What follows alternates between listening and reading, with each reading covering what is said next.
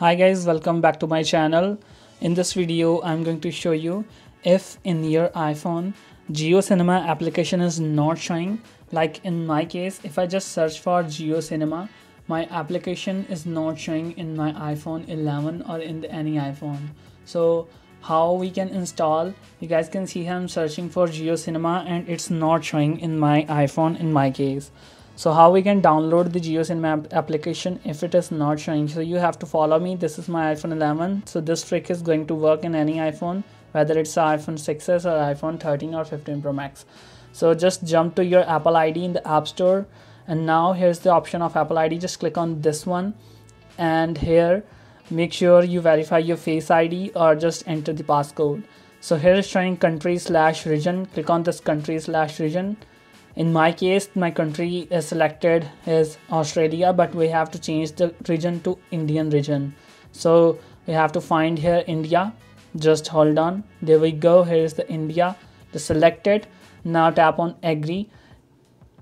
And again so now if you don't know any Indian address you can copy the same as I am doing. So just select none in case for the payment method in case for street just type here 21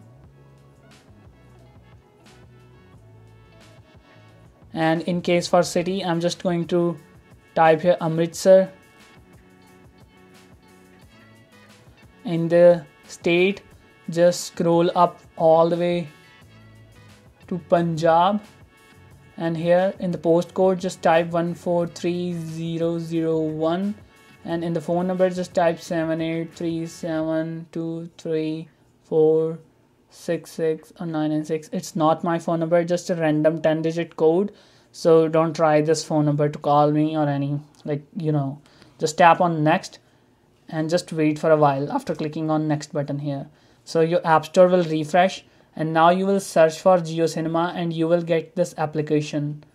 And now you guys can see here in the first attempt you will see JioCinema Tata IPL. Just click on get this application and yes app will be installed after you verify your passcode.